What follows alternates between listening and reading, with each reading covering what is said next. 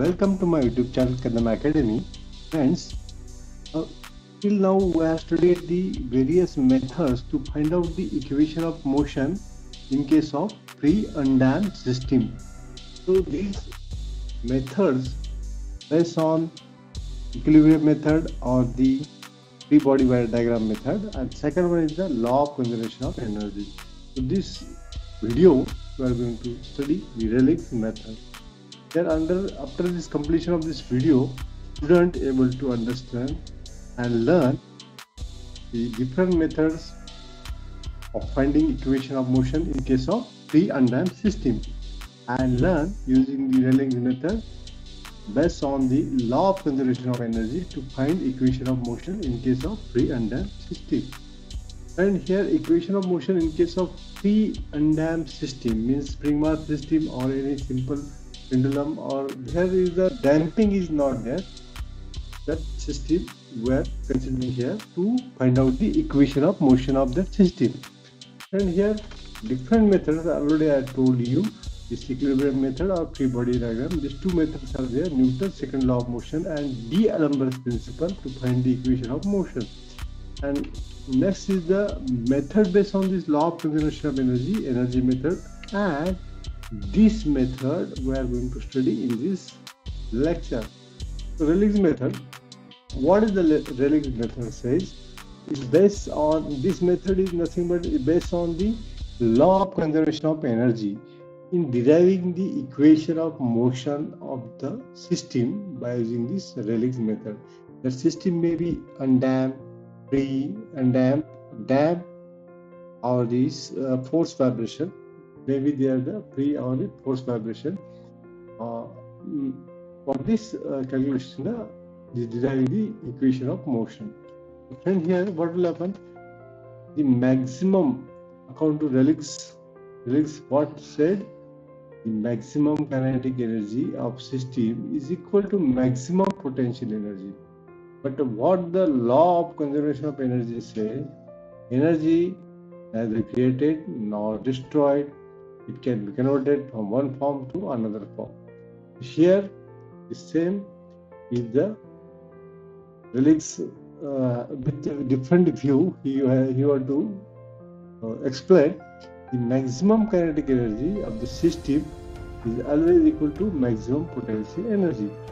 So this statement you are not going to clear by re reading this statement, but I will show you one diagram that will clear you this idea. This uh, pendulum, simple pendulum example is there. This is the simple pendulum at the, the not deflected position. When we deflect or disturbance is given to this pendulum on this side or on this side, what will happen? It will move. When we give the disturbance, move with angular displacement is theta. From this position to this position, angular theta is given to you. When we uh, this uh, it will start moving from this position to this position and come again to the this position. Here that diagram will be clear to you. Here potential energy is maximum uh, at the place 5, 1, 2, 3, 4, 5. These are the places where it will go when it will swing. Okay, this bob, when we left this bob, it will get swing like this. Okay, so and here at the place 1, the P is maximum. Why this P is maximum at place 1 and 5? the maximum energy, potential energy occurs when the system has maximum displacement. Means this is the static position uh, when it is not moving, and when the maximum displacement is there here at position 1 and at position 5. Okay, the maximum kinetic energy occurs when the system has a maximum velocity. Here at place 3, the system is having maximum velocity. What will happen? It will go maximum displacement. It will have the maximum potential energy. Again, it will come like this. It will moving continuously. So, what is the statement of the Rayleigh's method? Maximum kinetic energy of system is equal to maximum potential energy.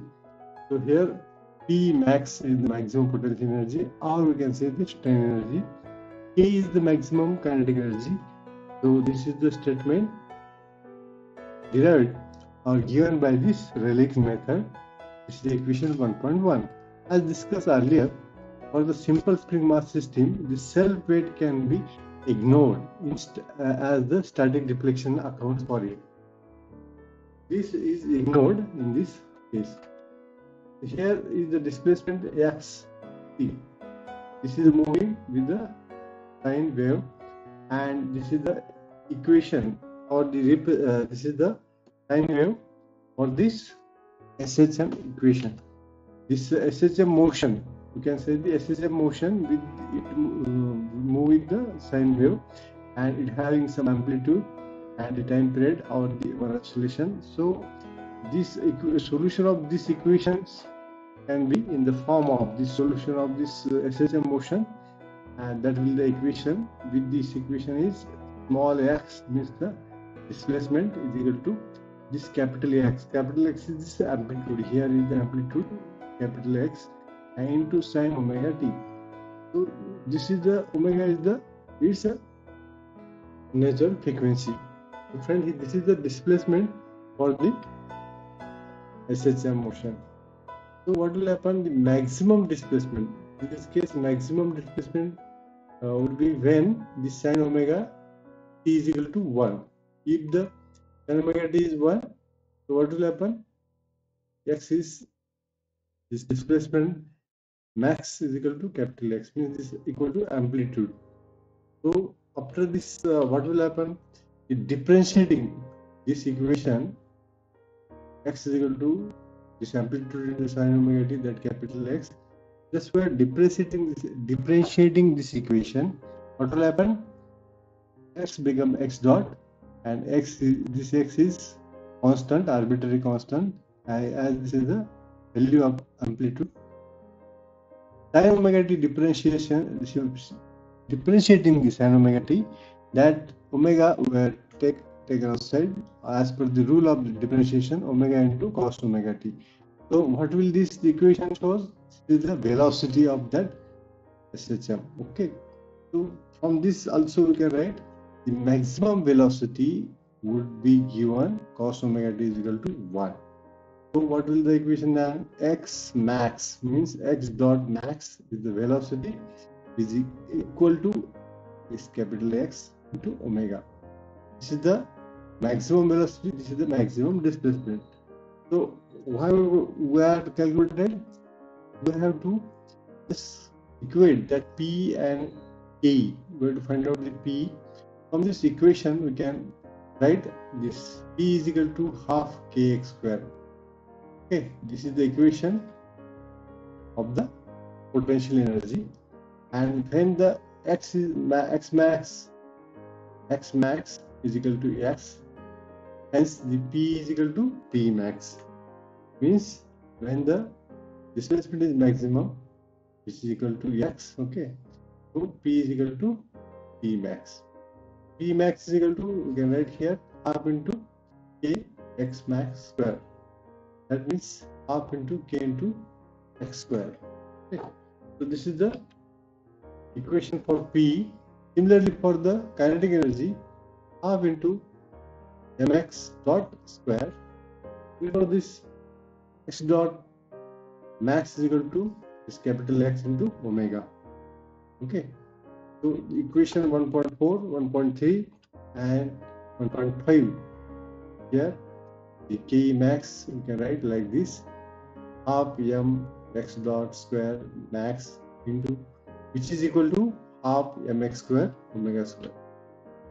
And here what will happen then the from equation 1.1 1.4 and 1.5 we can write we know this p max is equal to k max so we can write this both the equation here this p max is equal to P max. so P max is how, how much? This half into kx square here written and k max is equal to half into mx square omega square. So it will get cancel x square x square and what will be remaining? This will be nothing but the omega square is equal to k by m. Means omega we can write the omega n is equal to under root of k by m. Refer the equation of SHM, substituting the value in this equation of SHM. This x double dot is equal to plus omega square, x is equal to 0. So what will happen then? The x double dot omega replacing this omega square by omega square by k by m.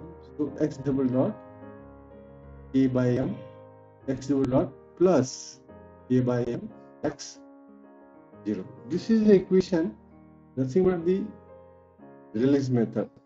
Thus, this equation obtained is the represent the SHM equation and this uh, by using the Rayleigh's method and it gives a similar result that that was the Newton's second law of motion. Friend, so through this also we can find out the values uh, or equation of motion for the any vibrating system. Friend, so what are the takeaways?